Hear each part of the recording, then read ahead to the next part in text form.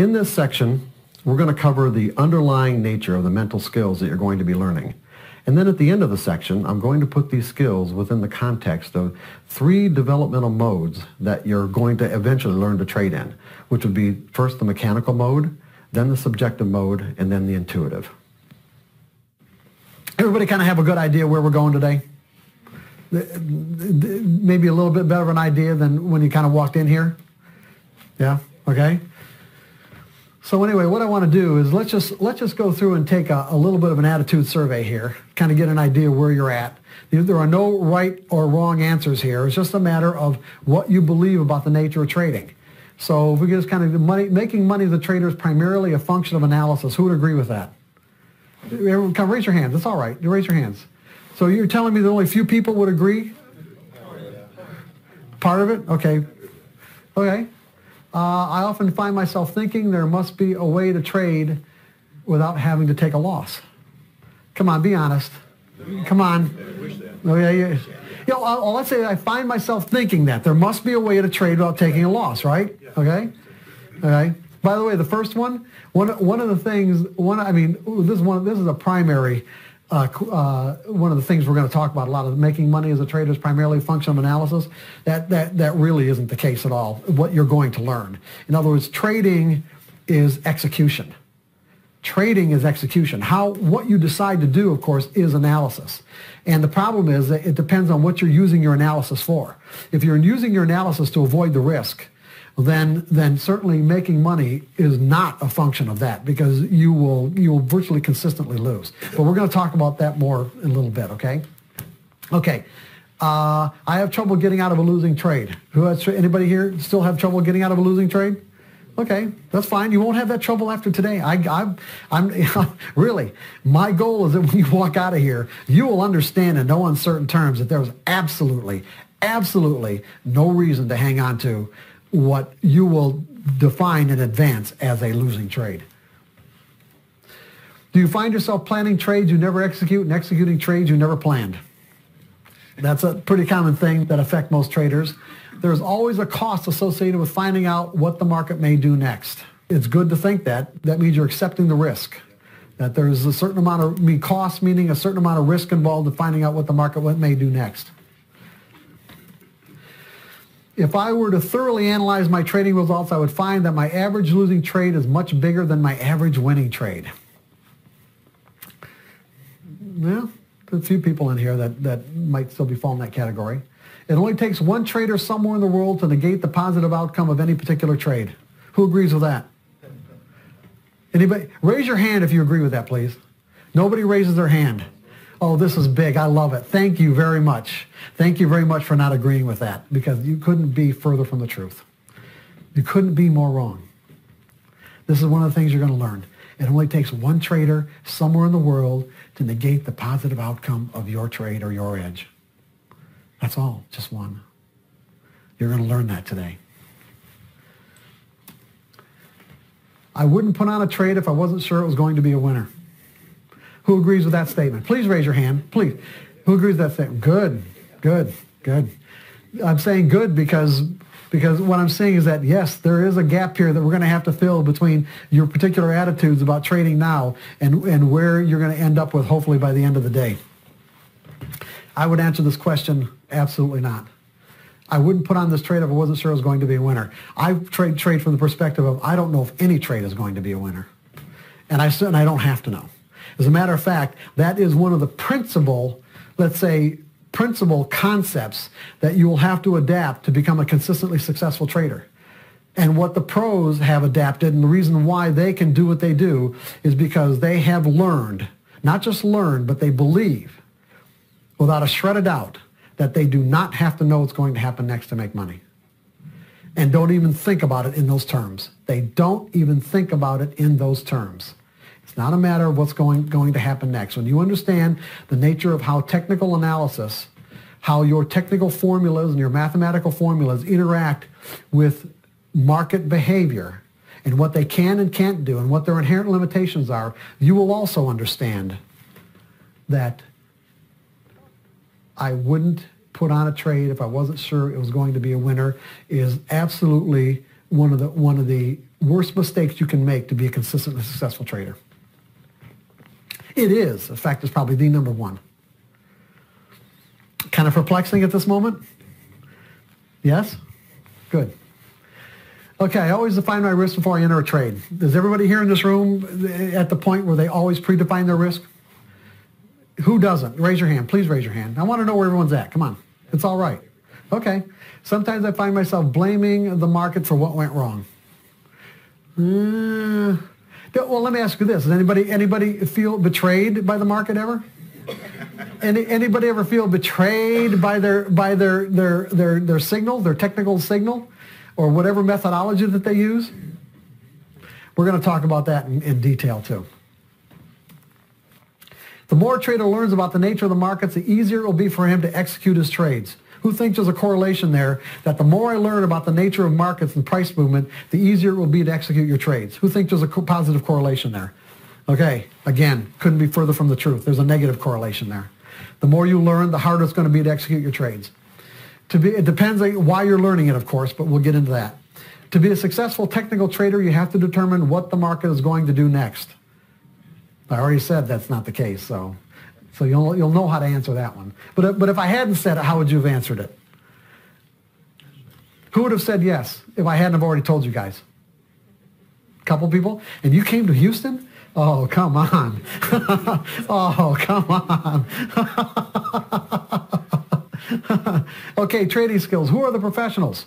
We already talked about that. And why would it be beneficial to think like a professional trader? We already talked about that. What's the answer? Ah, anybody can make money. Okay, we kind of already established the fact that anybody can make money as a trader. Consistent. Yeah, we're talking about consistency. What we want to do is we want to close that profit gap. We want to we want to make sure that our bottom line results reflect the potential of our methodologies. Okay? And that's what the professional has learned how to do. The professional has learned how to close that profit gap. They have learned the appropriate skills to do that. They're people just like you and me, okay? They're no different. They really aren't. They've evolved into a different way of thinking about trading. That's the reason why they can do it. And you can do it too with understanding and awareness.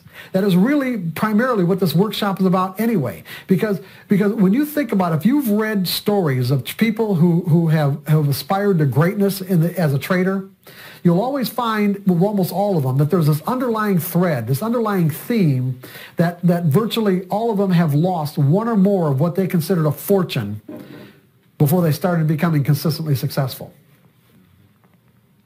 Why do you think that underlying thread or theme exists in their lives? What's that? Why do you think that commonality exists? Because at some point they lose so often and then come back from losing, that one, they gain the confidence that they can do it. And as a result, the fear dissipates. And as soon as the fear is gone, they're trading from a carefree state of mind. And when you trade from that carefree state of mind, everything about your trading changes. Remember that the primary skill that we're talking about here is simply trading without fear. This is a trading skill. It is the primary skill that you will have to acquire to create consistency, to trade without fear. What does uh, consistency look like? I've already went through on the on the grease board here and showed you a uh, consistently rising equity curve with, with the drawdowns, the normal drawdowns being a reflection of what? Can anybody remember what I said about that? What was that? Normal losses that reflect any trading methodology, right? Okay, what skills are necessary to experience a winning trade? Now, think about it. Now, I'm going to contrast, okay? I'm going to do a little bit of contrasting here. Just to, just to show you one of the reasons why it can be so difficult to get even into a frame of mind where we start asking the, the appropriate questions about what do I need to really be consistently successful? Because what does it really take to experience a winning trade? What skills do you need? Anybody got any idea? What skills do you need to experience a winning trade? What? What's your name, sir? Maurice. Maurice says a click of the mouse. Who's who's with Maurice on that? Come on, who's who's with Maurice on a click of the mouse? Got one, two, anybody else? Three, four? He's absolutely right. That's all it takes. There are no other skills needed. No other skills needed other than the actual physical ability to put your finger on the mouse button and click in the buy or the sell, and you can find yourself in a winning trade. You can find yourself in a, in a spectacularly winning trade, far beyond what you could ever imagine. And what skill did it take? What, what did it take? Just, just doing it. That's all. Just doing it at that, at that moment. Do you need an edge? Do you need to have, do you even, do you even have to know even know what an edge is? Is it possible to just be to, to walk up to your computer and the arrow happened to be on the buy button, you click and then find yourself in a winning trade? You didn't have an edge, did you? You just clicked it. What did it take? It took nothing. Do you need a plan? Need no plan. Do you need the discipline to execute the plan? No, you don't need that either, do you? Now, see, you're going to see the, the opposite of all this, of course, is, is what we're going to be talking about in terms of creating consistency. But go ahead. What you're saying is a blind squirrel will catch, will eventually find a nut. Sorry. What you're saying is a blind squirrel will eventually find. Did you say a squirrel? I'm sorry, Yeah. squirrel. Squirrel. Okay, squirrel. Okay, go ahead. Yeah, I can click a mouse, you know, the arrow hits the buy, I click, I get a great trade, I'm gonna, that's good. It's all the things that lead up to me, that's the implementation, but what about all the things that lead up to that implementation? Oh, I understand. I'm not. I'm not negating that at all. I'm just saying that that that that the reality is you don't need anything. That's all I'm saying because I'm contrasting here. I'm just making a contrast between what you need to be consistent and what you need to win. Oh, okay. That's all I'm doing. Okay. You just summed that up with what I was about to say. There's all the difference in the world between having the skills necessary to experience a winning trade as compared to having the skills necessary to consistently experience a winning trade. Absolutely. That's what I'm. That's all I'm talking about here. Because see, there's because what this does is this the, the not understanding this contrast creates what I call like a huge psychological gap. Because if you don't, because it's very easy for us to think that trading is easy. And if you believe that trading is easy, even if you're get, even if even if all your experience is starting to tell you that it's not, it doesn't mean that that experience is dropping down to a level of realization where you change your behavior or change the way that you think about trading. If your first impression, if your first experience was that this couldn't be simpler. And then you spend, you know, how many X number of years or half a lifetime finally coming to the realization that, you know what? Yeah, to, to win, like what do you need? Like I could I could be in a casino and, and plunk a hundred dollar bill down you know, at a blackjack table and, and end up with a blackjack. What did I need? I, nothing. I just happened to win. Now, if I want to be a professional blackjack player and make a make a consistent income from playing blackjack, well, that's a, that's a whole nother matter, isn't it? And we're talking about the same things here with trading. There would be a number of skills that I'd have to acquire to be able to make a consistent, reliable income as a blackjack player. And there are people who do it.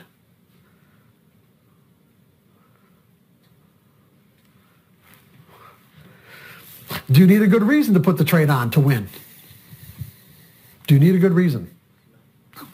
No, not at all. What characteristics distinguish the pro from the typical trader? Well, they plan their trades. No. They execute their plan without error. Ah, we'll talk about trading errors in a minute. Big difference.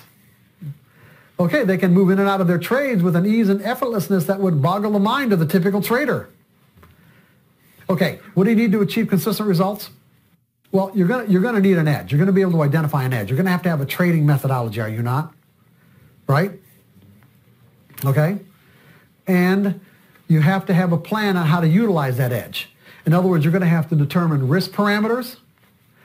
How much does it cost me to find out if this particular edge that my methodology provides me, how much is it going to cost to, how much is it going to cost me to find out that this edge is working on this particular trade or not?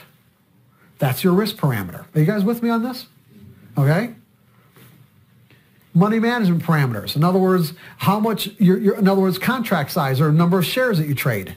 All these have to be ta- all this has to be taken into consideration. You could have a standard amount, or you could have an amount that fluctuates based on you know based on other criteria that you use, you know, to determine you know the, the level of trade that it is. Like it could be like a five star trade or a one star trade. With a five star trade, you go in with a maximum position, or the one star trade, you go in with a minimum position. And profit objectives. You have to be able to set profit objectives. See, just having a methodology to get you into a trade is not enough.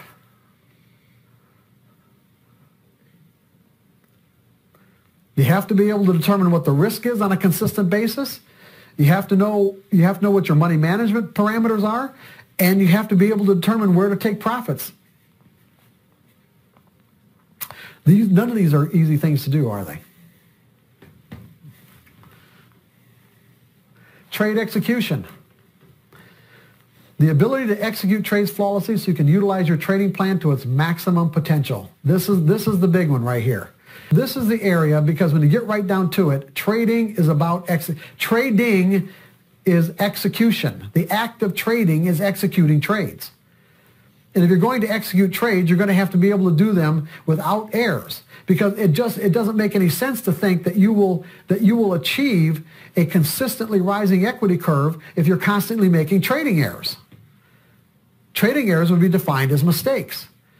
Mistakes that detract from your bottom line results. Now the interesting thing about mistakes is that when you're when you're trading from the let's say the perspective of you know, it doesn't really take anything to win, then there really aren't any mistakes that you can make because anything that you do could, end, could result in a winning trade for any reason. But when we're talking about making consistent money or an income that we can rely on, then everything changes about this. Everything changes. What I'm talking about here is I'm talking about these like five or four broad skill sets to be able to create consistent results the kind of results that you can rely on as an income, you're going to have to learn an edge. You're going to have to acquire a trading methodology that gives you an edge. I'm defining an edge as that there's a higher probability of one thing happening over another. That's what an edge is. And we're going to learn the nature of probabilities here in a moment. You're going to have to have, you know, you're going to have to uh, have a plan on how do you how you utilize that edge, meaning what the risk is, position size, and profit objectives. Then you're going to have to be able to execute. You're going to have to get to the point where you can execute that edge without making errors. For you to be able to execute that edge without making errors, you're going to have to learn how to trade from a carefree state of mind, meaning you're going to have to aspire to the point where you can trade without fear. And to trade without fear, you're going to have to learn how to think in probabilities. That's basically where we're going here. And I said this primary skill was learning how to trade without fear. Learning how to trade without fear is a function of learning how to think in probabilities. Meaning we're going to, we're going to set aside or move from thinking in a trade by trade mentality. In other words, what this trade is going to do for me right now, am I right or wrong on this trade? And we're going to move to a series of trades perspective because that's what your methodology does anyway. Any trading methodology just gives you a, a win or loss ratio over a percentage of trades. In other words, if I take the same, take the same criteria that's in any kind of mathematical, any kind of technical formula that's mathematical ba- mathematically based, or, or a, a, a technical price pattern that you would be able to see visually, what we're going to learn is that my edge, meaning a higher probability of one thing happening over another is simply going to give me a higher win rate over a series of trades. Let's say the next 20 trades. 1, 2, 3, 4, 5, 6, 7, 9, 10, 11, 12, 13, 14, 15, 16, 17, 18, 19, 20. And that the actual, on a trade-by-trade basis, I don't know which one's going to win or which one's going to lose in advance. There is no way for me to find out. There's no way for me to determine that. That on a trade by trade basis, no matter what reason or rationale that you come up with, is that there's no way to assure yourself that it's going to be a winning trade. There's nothing that can tell you that. That trading methodologies give you a win percentage, let's say 70% of the next 20 trades are going to be winners, there's no way I'm going to know which of the 70, you know, which, which 12 or 13 are going to be the winners or which six or seven are going to be the losers. What you're going to learn, this is what traders, what pro, the pro, professionals have learned, is that there's a random distribution between wins and losses over any given set of criteria that define your edge. There's a random distribution. I will get a higher percentage of wins to losses, but I just don't know which trades are going to be. It requires a complete shift in the way you think about trading. When you make this complete shift, everything about your trading will change. Now, I'm expecting you to make it now because I'm just still get. I'm still. We're still in the introduction. We won't really get into the meat of this until a little bit. But this is this is where we're going. Okay, that's all I want to get. This is where we're going. You're going to you're going to genuinely learn how to think in probabilities, because when you've integrated, when you have genuinely integrated these concepts into your mental system at a functional level, your fear will go away. You do not need to lose everything to get to the point where you can figure out that, well, you know, I've got nothing to lose anymore, so I don't have anything to be afraid of. You don't have to do that, okay? You don't have to do that. All you have to do is commit yourself to learn how to think about trading in another way, and your fear will go away.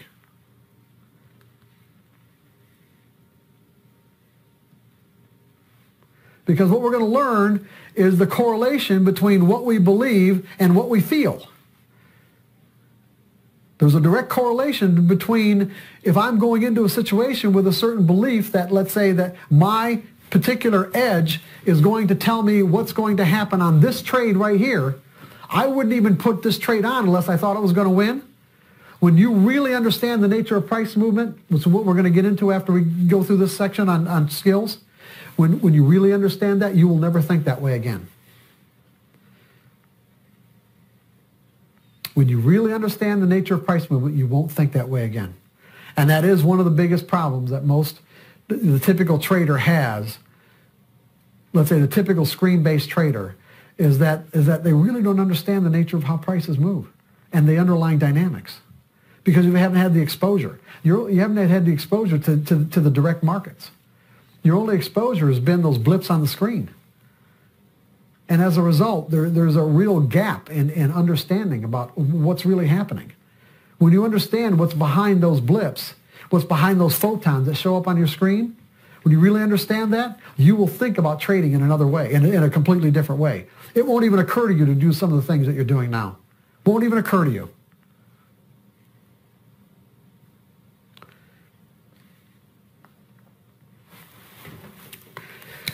Okay, now, so I've got, so we've got, I've given you three so far. The next broad area that you're going to have to learn it's like, it's like you can, you can be an expert at, at defining an edge. You can even, you can even be able to execute your trades flawlessly and, but run into the next challenge, and that's what I just call self-sabotaging beliefs.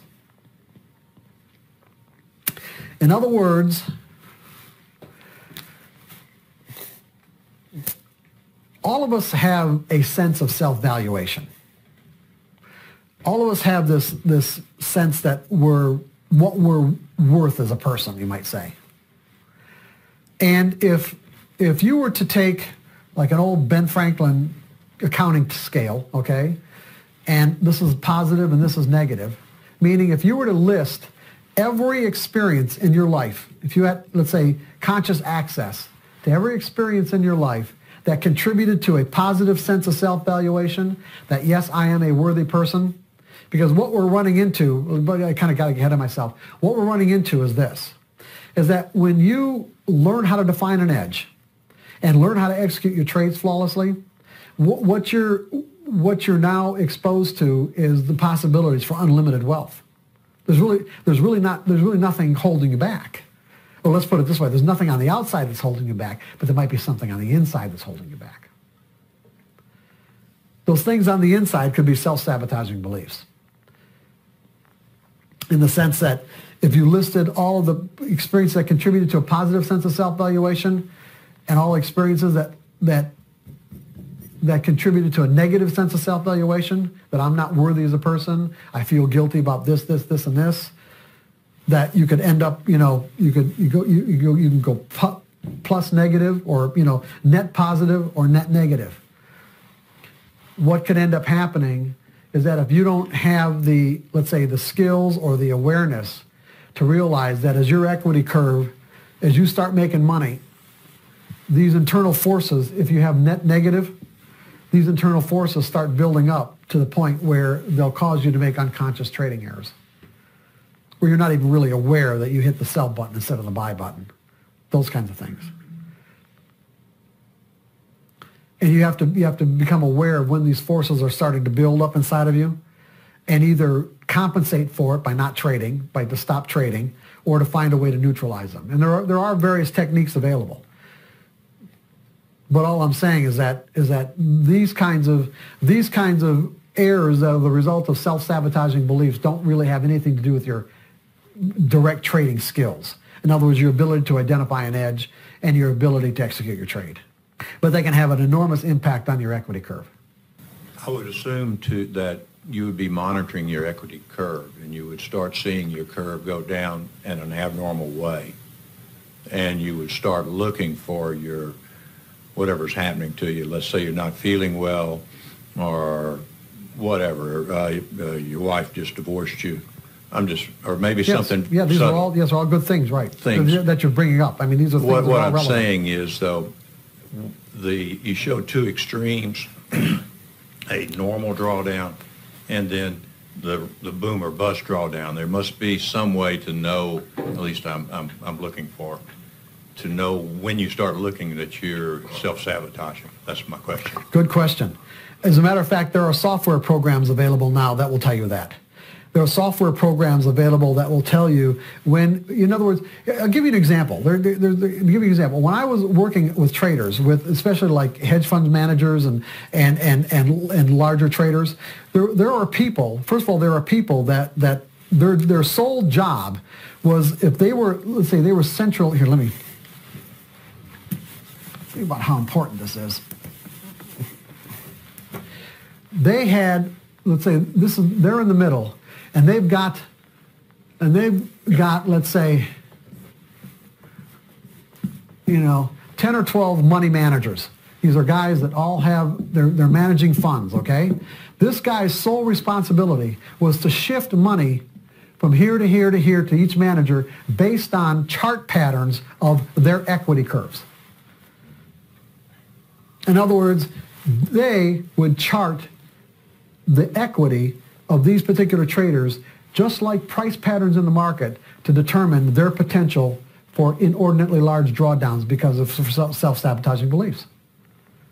That's how sophisticated the market has become. That's how relevant these issues are. So that you can actually chart your equity and then you start to go like this. Oh, well, and then do another one like that. Ah, something's happening here, okay? I mean, it was, it was just, it was really kind of amazing to me when I was working with floor traders especially. I mean, this one guy, this pops into my brain just, as- just as you, as we're talking about this. I mean, you know, he came in for, for a consultation and he had his worst day in his life ever. Worst trading day, lost more money than what he's ever lost in his life. I said, well, you know, and, and you know, it's like normally, almost virtually in every case, it, something catastrophic's happening in that person's life. But what was always amazing to me is how much of a disconnect that, that the person would have between the catastrophic event in their life and what they ended up doing as a trader in the market.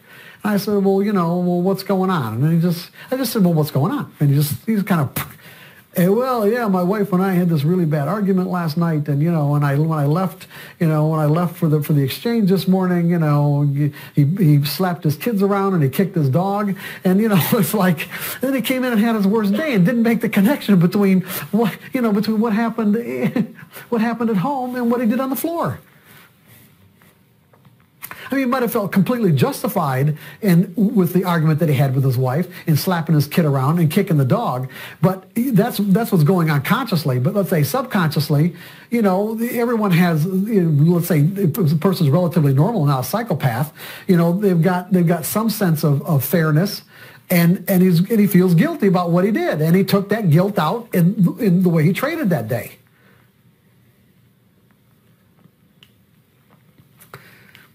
The, the market is not a good arena to be doing this, by the way. Okay, this is this is not a good area to be working these kind of emotional issues out. Go ahead. We, we need the microphone. You want me to you want me to put it right here, and I'll just I'll just hand it to him. My next question would be, the, the market also changes, the patterns of the, or your edge may change in relation to the market. To distinguish between your own troubled state, let's say, and market behavior, uh, I can see that maybe one of these fellows here in the pie there might be using a system that is not as valid as it used to be when the market changes.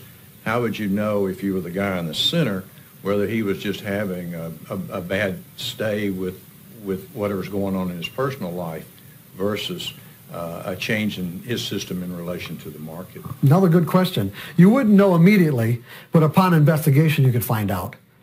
In, in other words, by just talking to the guy, or what, what you or what you do is that see see what you do is you trade in sample sizes too. In other words, when you have a particular methodology that has that has a defined criteria for when you get into a trade, what you do is you trade in a limited sample size so that if you trade in 25 trade sample sizes or like 20 or whatever, what you do is you analyze your results at the end of that at the end of a sample size. And if your results are satisfying, then what you do is you take another sample size. If the results are not satisfying, then, then because you always, because you knew exactly what you did and under what circumstances you did it, you limited your variables. What you do is then you can go back and tweak your variables to see if you can improve your improve your results. Because because what's your name?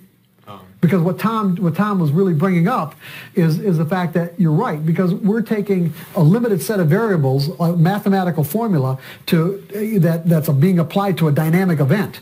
And that dynamic event are traders who are acting on their own behalf, creating price movement, and they basically, they create patterns that were doing the same thing over and over again, but you've got new people coming in with new ideas and old people leaving, and as a result, these patterns can change over time, diminishing the results of a particular edge. So what you want to do is you want to make sure that your sample size is large enough to adequately test that edge, but small enough so that if the edge is diminishing in its effectiveness, you're not losing an inordinate amount of money before you find that out. Does that answer your question? So that's how they find out. Okay. Besides that, there are because there's software available that'll, that'll even tell you now. There's software, yeah. There's software available that'll that'll track your track your edges or to track your equity in a way that can indicate whether or not you're ready to take a hit. I don't know the name of it, but you know, because I just found out about it myself. So, what are, are some other ways that you can uh, uh, address maybe a emotional problem you might be going through or other things outside of the trading area besides stop trading? Well, you said there. I mean, there there are a number of techniques, a number of books available. There's there's counseling. You know, I mean, I'm going to make I'm going to make a recommendation of a particular book later on. You know, when we get into a little bit more detail. But but uh, you know, it's it depends on the effect that it has on your trading. I mean, you don't necessarily have to stop trading, but you but you have to make an objective assessment as to what as to your state of mind. In other words, you know, you, you can actually say to yourself, "Am I in the best state of mind to be trading today?"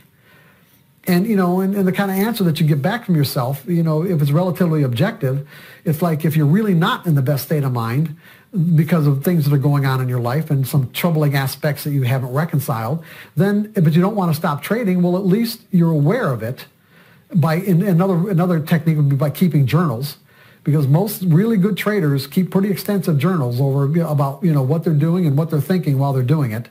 And then you, you make this assessment so that at least if you're not you don't want to stop trading. You still want to put your put whatever edges on you have for that day. You scale back. In other words, if your maximum position size is, let's say, 5,000 shares, you're not in the best state of mind. Maybe you only want to trade 1,000. Maybe you only want to trade 500. In other words, to take these things into consideration. And you'd be surprised by just being aware of it and taking into consideration. A lot of times these, these things will, will, will reconcile themselves. I don't, does that help you? Yes, it does. Thanks. Okay, okay. Okay, and the last area of the, these, these broad skill sets that we're talking about is develop the ability to recognize if you've crossed the threshold from normal self-confidence into a state of euphoria. you guys are laughing. I finally, I finally got some giggles out of you, giggles out of you guys here. What's so funny about this? Anybody want to anybody want to want to share? what? What's that? You don't want to be in a state of euphoria. No, you're right. I mean, being in a state of euphoria, let's put it this way. The, the primary, let's say, the, the, the primary characteristic of the state of euphoria is that it's a state of mind of complete and absolute risklessness. Everybody get what I just said? You are in a state of risklessness. In other words, you have no ability whatsoever to perceive risk. So if, for an example,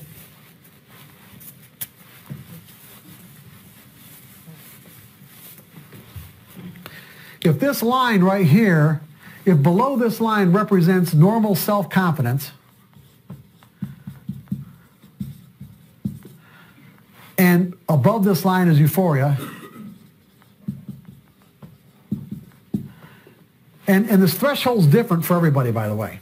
I mean, there are certain chemicals that scientists have found that you know that, that flood our that flood our mind and our body when we've crossed this this threshold. I have I've worked with traders who will flip into a state of euphoria with one winning trade. Okay, usually for most people it takes more than one winning trade. But I have worked with I have worked with people that they'll flip into a state of euphoria with one winning trade. Now the problem with this, and it's a great state of mind to be in. I mean, to be in a a, in, in, virtually a riskless state of mind. I mean, it's like, hey, uh, you know, it's, it's, it's really a cool place to be. But the problem is that when we're in a state of euphoria as a trader, we are, I mean, it's, it's virtually guaranteed that we're going to make a trading error. And the kind of trading error that we'll make in a state of euphoria usually has to do with position size. So for example, if you're normal, if you if you normally only trade a thousand shares, in a state of euphoria, it's like, okay, let's let's mortgage the house. Okay? It's like, you know, let's go to 10,000, 20, 30, whatever. Thousand shares. Because you see, you absolutely know for a fact you wouldn't be putting on putting this trade on if it wasn't going to work. See, you know for you know for a fact. See, because there's no because you don't have any any ability to perceive risk at all. Now the problem, even though it could even end, end up being a winning trade, it's not that it's not that the, the trade might not end up being a winner, but here's typically what's going to happen.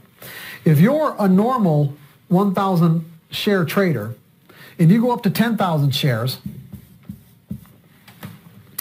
if when you put a 1,000 shares on and the market went against you 5 cents a share, wouldn't be any big deal. You got 10,000 shares on when you absolutely knew for a fact that the trade was a winner and it goes 5 or 10 cents against you. It has the potential to flip you into a state of pure, unadulterated terror. Instantaneously, you'll go from euphoria to a state of terror in one instant because your expectations about what was going to happen were so resolute, it creates a psychological shock that puts you in a state of mind freeze. Mind freeze. Mind freeze is when you are conscious of what is happening, but find yourself totally immobilized to do anything about it. And so if the market happens to go 10 cents against you but keeps on going, okay, you just sit there and watch completely immobilized while the market takes your money away until finally something flips you out of that and you say, hey, you know, you just come back to your senses and you had enough and you get out of the trade. I know that's probably never happened to anybody in this group, but, but, but, uh, but I've worked with many people who, who it has happened with. uh, so, so this is not something unfamiliar to anybody here. The terror part, not the Uh, it's, it's like going literally from a state of mind, it's like literally going from heaven to hell instantaneously. And keep in mind the dynamics here. It was all based on your expectation. It's all based on your expectation. So you guys have got this? Okay, there's, there's, so when we're talking about consistency, see, this is, goes back to when I was doing the contrast, okay, is that to, to experience a winning trade, you, you need nothing. I'm not saying that you don't put something into it, but the fact is you need nothing. There's no skills that are required to experience a winning trade. But to experience consistent results as a trader, the kind of results that you can rely on as an income. There are, there are, these are, there's some pretty kind of profound skills that we're talking about, are we not?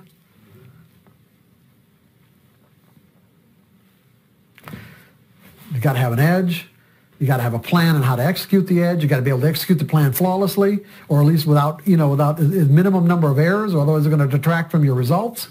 You got to be able to recognize when you might have some self-sabotaging beliefs that are that are rising to the surface to say, hey, you know, this is too much money. Why do you, why do you think it is that you have probably read in, the, in some of the trading books? I know, I'm sure you have read at some point that someone gives you the advice that when you have windfall profits to stop trading and take a vacation. Why do you think that that advice exists? Why do you think people have written that down? I just gave you the underlying dynamics for why that's true. It's not just the euphoria. No, it's not just, no, it's not the terror afterward. It's, it's the possibility for self-sabotaging beliefs coming in and saying, I am not worth this much money. Even though it's what I want.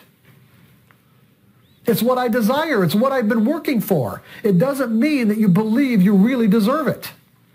You have to believe you really deserve it to keep it.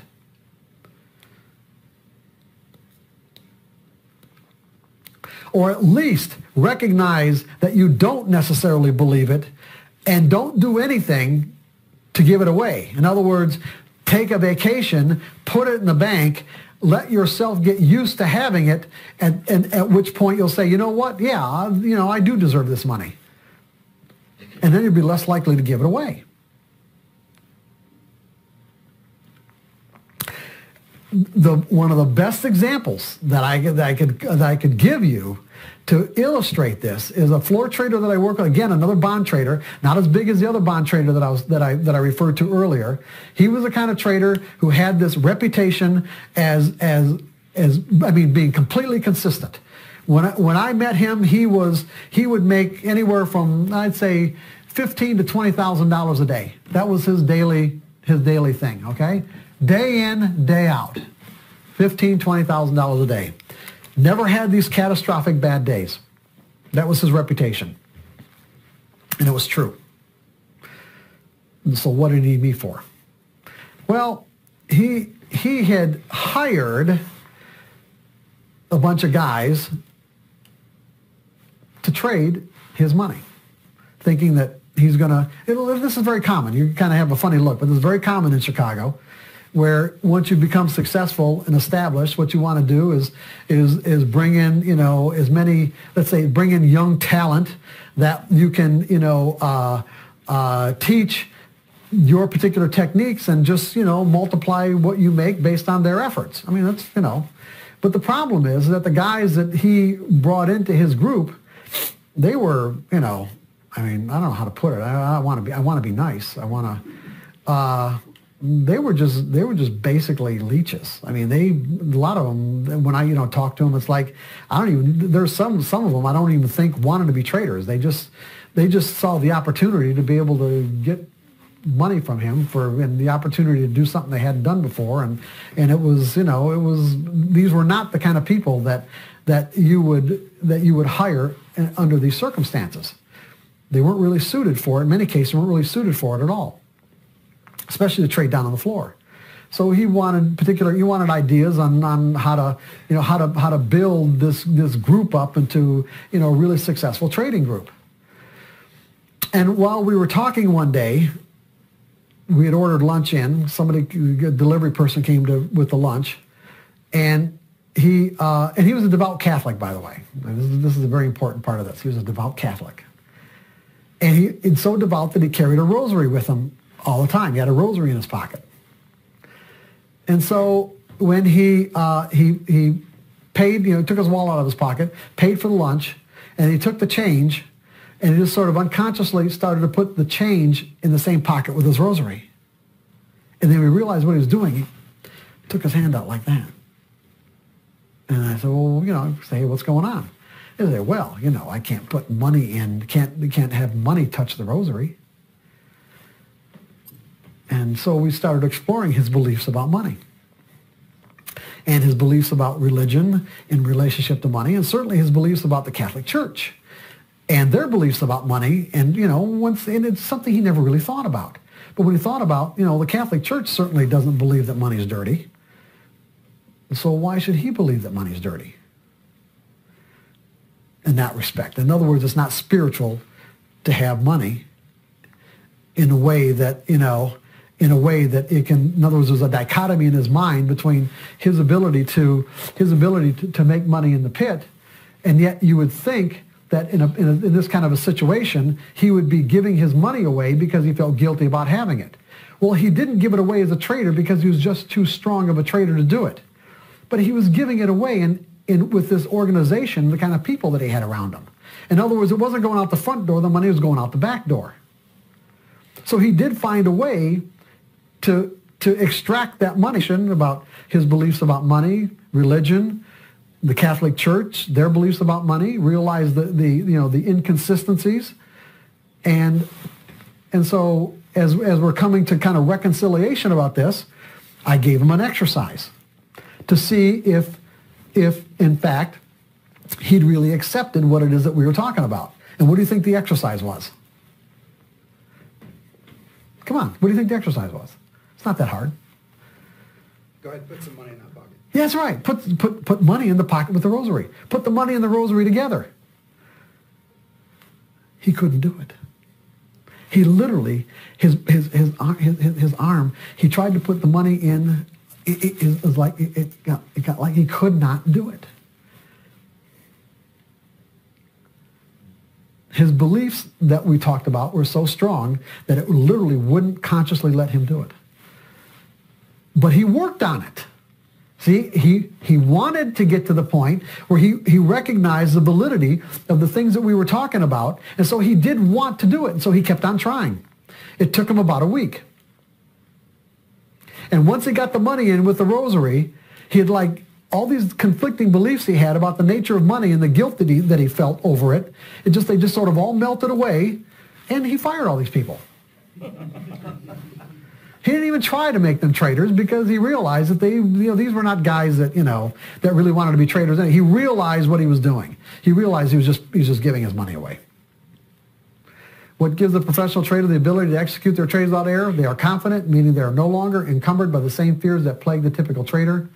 Trading without fears is learn mental skills. I've already given you examples of mental skills. Remember what, what did we say about, about the ability not to choke? Okay? Under, that would be an example of a mental skill. Learning to trade without fear, hesitation, or internal conflicts is a function of believing that you don't have to know what's going to happen next on a trade-by-trade basis to win or make consistent money. This is, the, this is the heart of it right here, everyone. Okay? This is the heart of it. And again, we're still in the introduction, believe it or not. Okay? So I'm, I'm going to reinforce all this. But eventually what you're going to do is get to the point where you believe that you do not have to know what is going to happen next on a trade by trade basis. This trade and this particular trade and this particular trade, you don't have to enter these trades thinking that you know what's going to happen next to win, to make consistent money. And that when you stop believing that, you will start making consistent money because it's, the, it's your expectations about this trade winning that's, that's going to mess you up. Go ahead. What you're really saying is you have to have a belief in your plan or your methodology, and you're looking for a probabilistic result saying, over a period of time, I will execute 60, 70, 80% of my trades. The one I'm going into now could be a good one, could be a bad one. That's right. I don't care. That's right. Exactly right. Perfect. Thank you.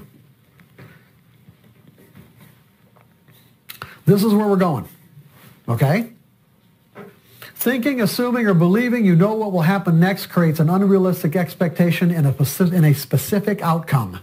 What's wrong with unrealistic expectation? Well, think about, let's say, expectations in relationship to the, the characteristics of humanity. You can, this cuts across all everybody and cuts across all cultural all cultural lines or barriers. Everyone, it- well, first of all, we can get, get to that point. What is an expectation?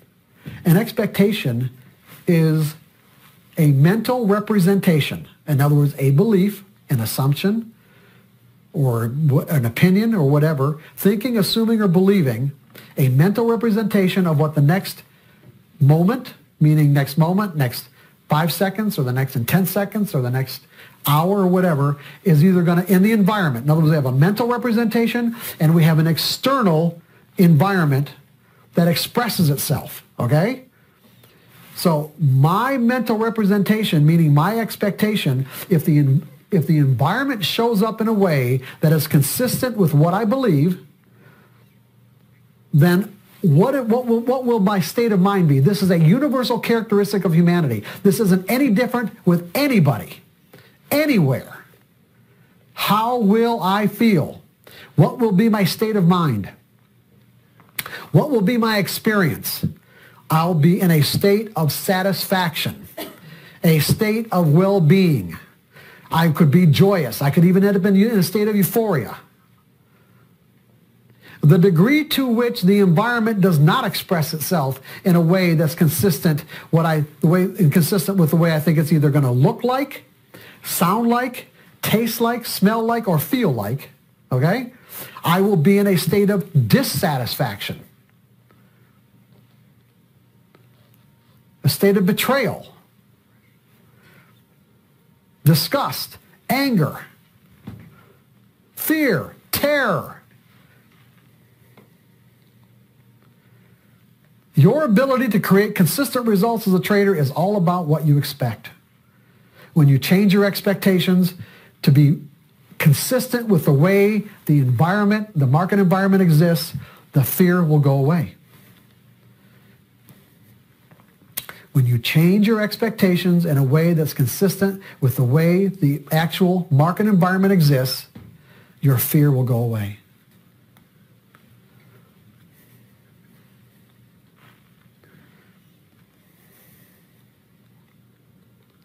And you'll be able to do exactly what you need to do when you need to do it without conflict, without hesitation, and be able to close that profit gap between what your methodology will give you and what you end up with in your bottom line. Unrealistic expectations cause us to define and interpret and therefore perceive market information as threatening. Ultimately, we can look at we can break the market down to its lowest definable component parts. If we break the market down to its lowest definable component parts, what we end up with is up and down ticks.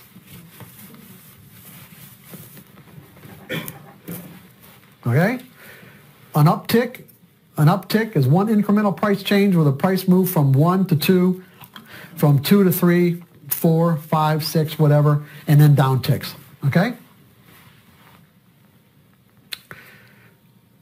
When we're operating out of unrealistic expectations, we're going to tap into four primary trading fears that will cause all the errors that we make as traders. Those fears are the fear of being wrong, losing money, missing out, and leaving money on the table. And those fears will actually cause us to perceive these up and down ticks as threatening. And what we're going to learn about the nature of fear a little later is that fear will cause us to focus on the object of our fear so that we end up creating the very experience we're trying to avoid. Therefore, if I'm trying, if I'm afraid of being wrong, I will actually perceive this information in a way that causes me to be wrong. If I'm afraid of losing, I will perceive these up and down ticks in a way that will actually cause me to lose. If I'm afraid of missing out, I'll actually create the experience of missing out. And if I'm afraid of leaving money on the table, that's exactly what I'll end up doing. Now, when you think about the nature of these up and down ticks and the photons that appear on your computer screens, is, is, there, is there an inherent characteristic in that information that's threatening in any way?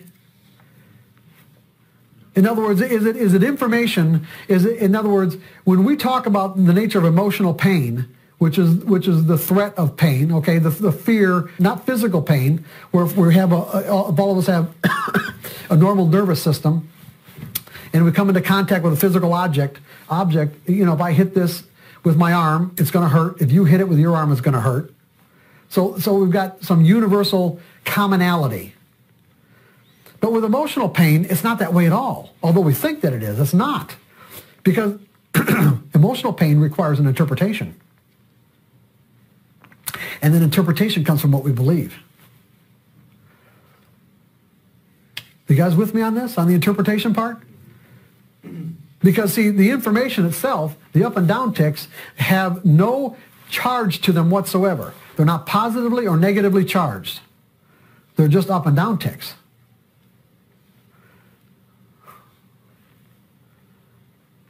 That based on your ability to read those up and down ticks tell you what the, what the potential is for the market to move in any particular direction. If you're perceiving them as threatening in some way, that's definitely going to cause you problems when it comes to creating consistent results. In fact, you're going to find it impossible.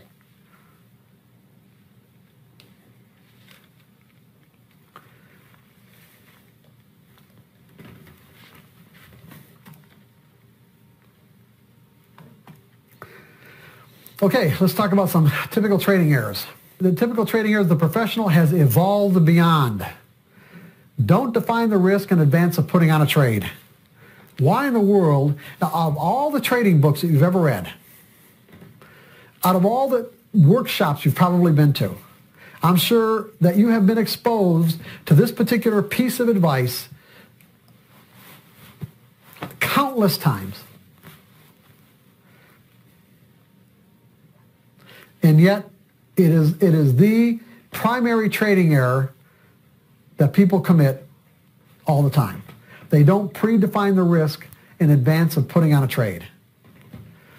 If you don't predefine the risk in advance, you're operating out of the mindset that you think you know what's going to happen next. And what I'm going to establish from you, when you establish for you when we get into the next section, is that that is absolutely not the case. That doesn't mean we don't think that, but the reality is it isn't the case. See, because when we have when we predefine our risk, let's put it this way. If, if I'm the typical trader operating out of the four fundamental fears, the fear of being wrong, the fear of missing out, losing money, etc., we got a real problem here because our minds are naturally wired to associate. In other words, they automatic, our minds will automatically make connections. Meaning this, that if I, if, I'm, if I get into a trade and I end up being wrong, I expect it to win and I'm wrong. I have to admit that I'm wrong.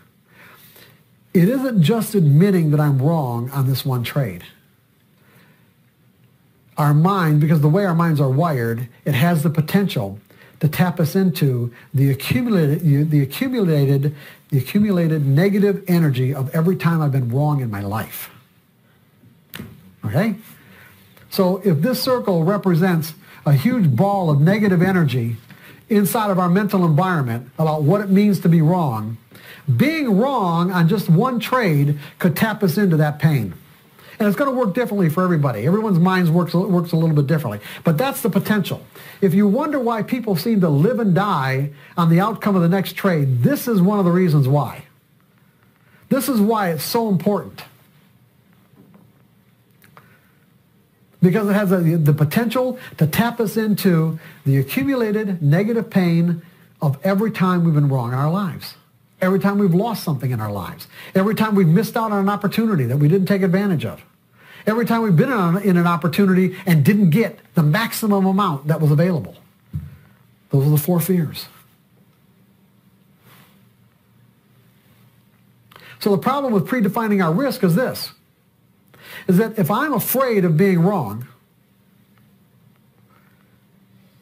and I don't know how to think about trading appropriately in a probabilistic mindset, I'm not going to get into this trade unless I think I'm right. And the problem with predefining the risk is that it requires that I gather evidence as to why it might not work. Predefining your risk requires that you gather evidence as to why it might not work. Well, I wouldn't even be getting into in the first place if that were the case. So I'm not. I'm going to gather as much evidence as possible to make sure that I'm doing the right thing. Because if I start gathering evidence as to why it might not work, then I might talk myself out of taking the trade. And then if I end up talking myself out of taking the trade and it turns out to be a winner, I'll probably be in more emotional pain than what I would have been in had I taken the trade and it turned out to be a loser.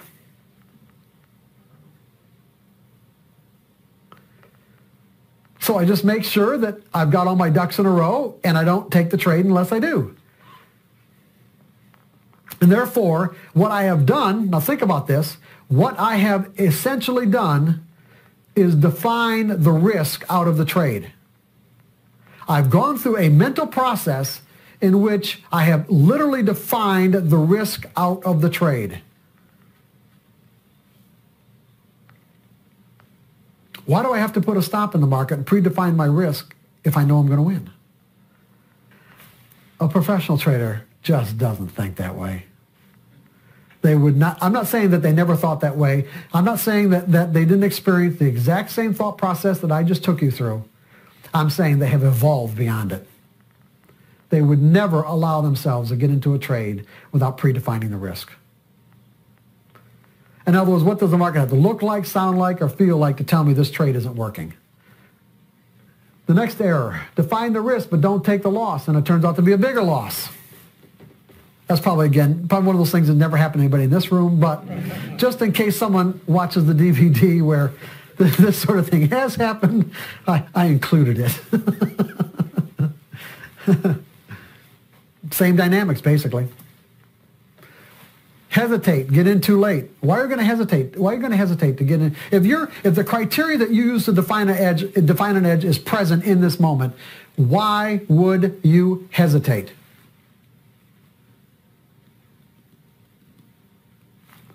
because you don't think the trade's going to work. You have doubt. In other words, you are either thinking, believing, or assuming that you know what's going to happen next. Think of the connection here. You couldn't hesitate unless you either assumed, think, or believed that you know what's going to happen next. If you operate out of the perspective that you don't know what's going to happen next, I don't need to know what's going to happen next to make money, then there's no point in hesitating.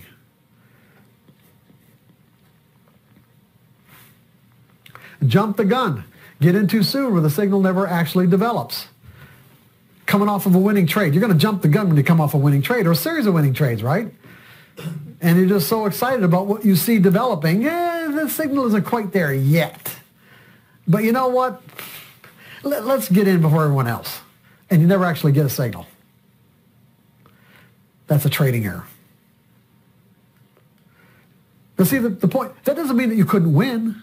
See, what you're going to find is that when you trade on what I call a trade by trade basis, see, we're going to make the we're going to make the, the distinction between trading trade by trade and tra- trading over a series of trades.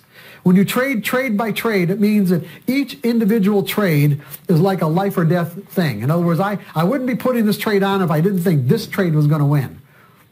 Not that, not the other, the, the, the, the, um, the opposite of that was, which is I'm going to put on the next 20 trades because I think that 70 or 75% of them or 50% of them are going to win. There's a huge difference in perspective.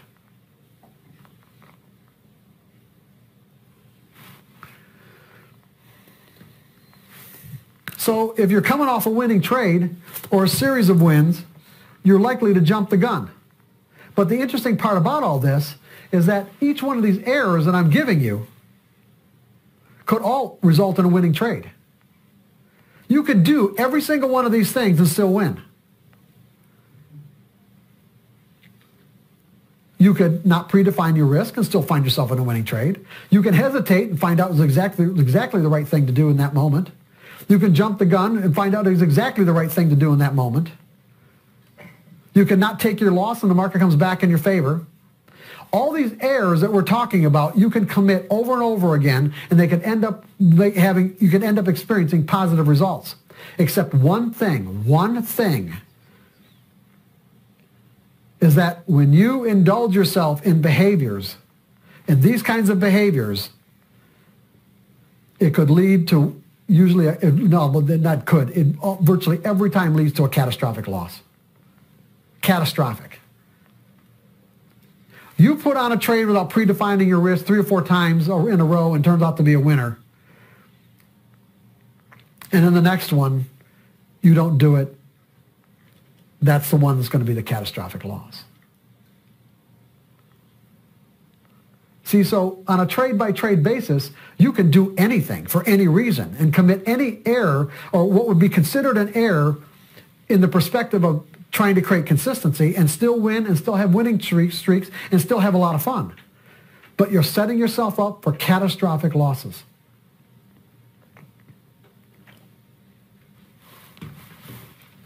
Get out of a winning trade too soon and leave money on the table. There's, there isn't a trader alive who hasn't experienced that.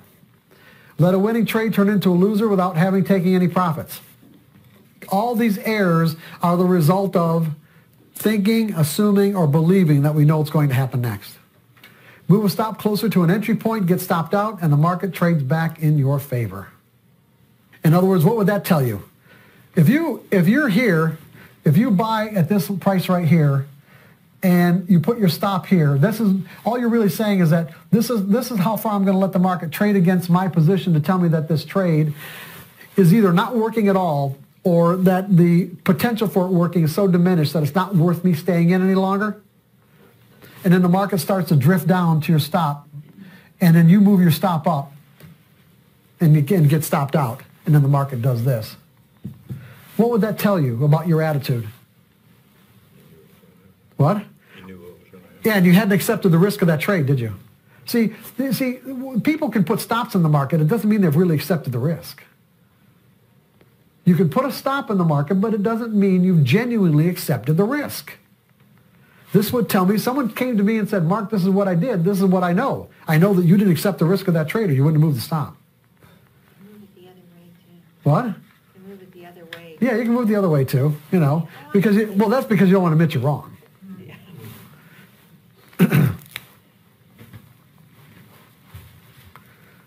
The professional trader is no longer susceptible to these typical trading errors because he's learned to think in probabilities. When you understand the relationship between how prices move and the mathematical formulas and price patterns that make up a trading methodology, patterns that make up a trading methodology, quantifies that movement into tradable edges, then why you have to learn the skill of thinking probabilities will become self-evident. In other words, when we get through the next section, the way you need to think, I want you guys to be at a point where it just becomes completely self-evident as to why you need to think in probabilities to make consistent money. It just makes sense. It's just like, oh, yeah, okay. This makes absolute sense. The three developmental modes of trading. Now, I, I gave you the broad skill sets that you have to learn to, to create consistency. Well, within those broad skill sets are within the three, what I call three developmental modes of trading. There's mechanical trading, subjective trading, and intuitive trading there's three stages. In other words, in mechanical, what you want to do is you want to you want to trade with rigid a rigid criteria that defines your edge. All execution decisions are made in advance of market activity. The market either confirms your conforms your definition of an edge or not, and you you execute your you execute your trades based on a plan. In other words, what you're doing in the mechanical mode of trading is you're limiting the number of variables that you're dealing with in the market. Because what you want to find out is this. You want to find out what works and what doesn't. This is where, to find out what works and what doesn't, you can paper trade. In other words, you can, you can actually take a particular trading strategy and methodology and forward trade it with paper trading, or if you've got software that, that does the analysis for you, you can do it that way too. But it's better to probably paper trade it so that you're actually interacting with your particular variables that are defining an edge. So you're finding out what works and what doesn't. If you use an unlimited number of variables to define an edge, when you're trading randomly, you never never find out what works and what doesn't. So you have to learn that. You have to have confidence in that. But the other part of it too is finding out whether or not your own personal psychology is made up in a way that you can actually execute that edge. And the problem with the execution part of it is that paper trading doesn't cut it. You actually have to have money on the line. And so what you do in the mechanical stage is that you use the mechanical stage as a means to learn trading skills. In other words, your focus is on skills and not necessarily on how much money you're making or not making. Because when you've acquired the appropriate skills, the money will simply just be a byproduct of those skills. And then what you do is that if you find that you cannot execute your plan, then you're going to have to going to have to get into a mode where you learn exactly how to do that, which is what we're going to get into later on. But the point is, is that that that what I recommend to people is that if they're having problems executing their trades, in most cases, is because they're probably they're probably their position size is too large. In other words, if they're if once they once they learn that they that that there's a, a specific regimen in which they can learn to be consistent you know what they want to do is they want they want they want their cake and eat it too, sort of. Other words, they want to learn the techniques, but they don't want to cut themselves off from still making a lot of money. When the reality is they don't have the psychological skills to be able to execute trades based on the way they were trading before. So if they were a 5,000 share trader before, they'll set up these exercises that we're going to talk about later on the afternoon with 5,000 shares and then, and then completely blow it and can't do it. The reality is their psychological makeup is such that they may only be able to trade, do it, and do it flawlessly with 10 shares. So I work with people who had to go down to one.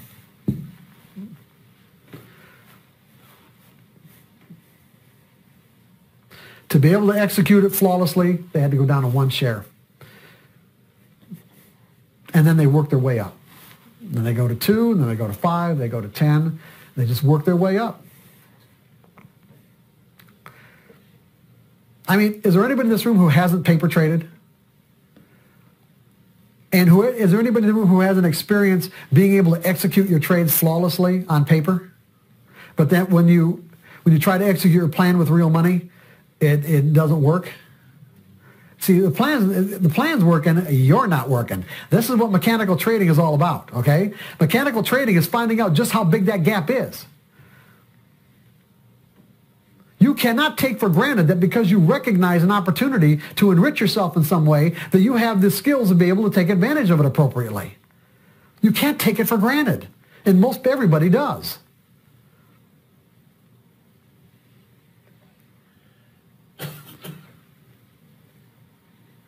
So mechanical trading gives you all this information. It gives you, it tells you what works and what doesn't in the market and what works and what doesn't with you. So that you know what you need to focus on to be able to make consistent money.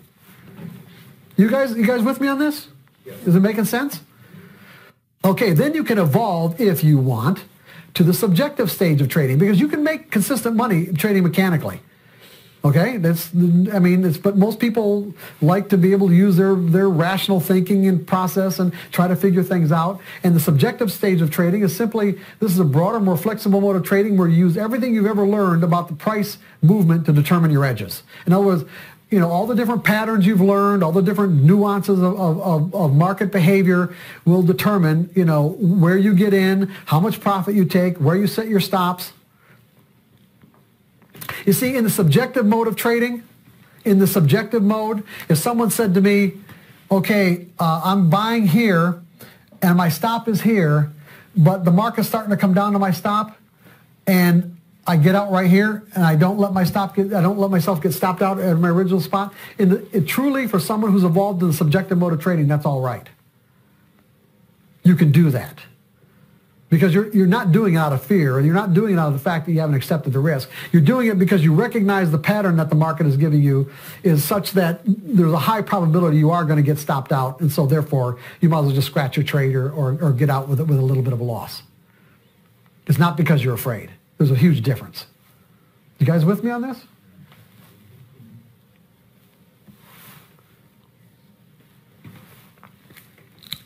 And then the last stage is the intuitive. This is the most advanced mode of trading. It would be the equivalent to getting a black belt in martial arts. It's when you find yourself in the zone, tapped into the collective consciousness of the market, giving you a sense of the flow. If you look at the market as being, you know, a collection of individuals, you can tap into that. You can find yourself. It's not something you will yourself into. You just find yourself into, in this zone where you're just seeing and doing things that you can't necessarily explain at a rational level. And the problem is that there are people, everyone has intuitive capabilities. There are, but, but some people it's completely shut off. And with others, you know, they don't trust it because, you know, they, they, they don't, they can't make the distinction between what's intuition and what's just their mind hoping that something's going to happen or hoping that you know what they see is, is is really what's going on and making it feel like intuition the problem is until you acquire these fundamental skills that we're talking about you definitely don't want to be trading based on intuitive impulses you just want to make note of them when you've got the skills, then find yourself in the zone, then go ahead and do whatever whatever comes to your brain until you flip yourself out of it. Meaning, when you start thinking at a rational level, you mostly you flip yourself right out of the right out of the zone. Because your rational mind wants to know, wants reasons. Your rational mind wants logical reasons, and these intuitive impulses don't come from that part of your brain. They come from that creative part of your brain. And by definition, creativity is bringing something forth that didn't previously exist. It may exist somewhere in the world or in the universe somewhere, but it didn't exist in your mind. And it's outside the parameters of what you already believe. So there's going to be an instant conflict between what you think at a rational level and your intuitive impulses until you train your rational mind to accept your intuitive impulses. Got that?